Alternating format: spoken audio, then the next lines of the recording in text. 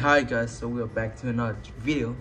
Um, this time I'm going to teach you how to, how to install games on um G, uh, JTAG Xbox or maybe RGH Xbox.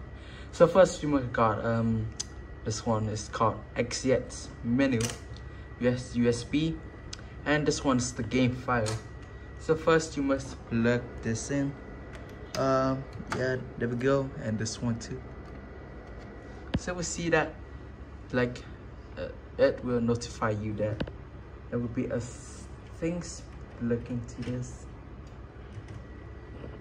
Yes also so you press this press this xbox menu rb rb move to the system uh, system settings and yes. So press b.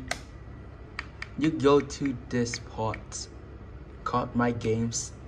Click on this and you're going to be on the XEX menu. So press um like you press this press that and again.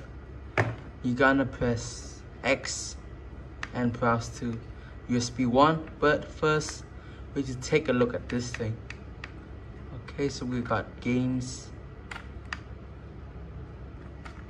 And so you go back X USB you select like a select a random game press Y and select um, copy. So in case that you're gonna mess up so you want to go um, worry about that go to games file.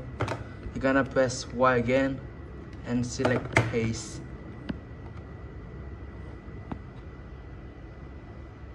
and there you go you have it. So this Andrew's Tech channel. Um thank you for watching and goodbye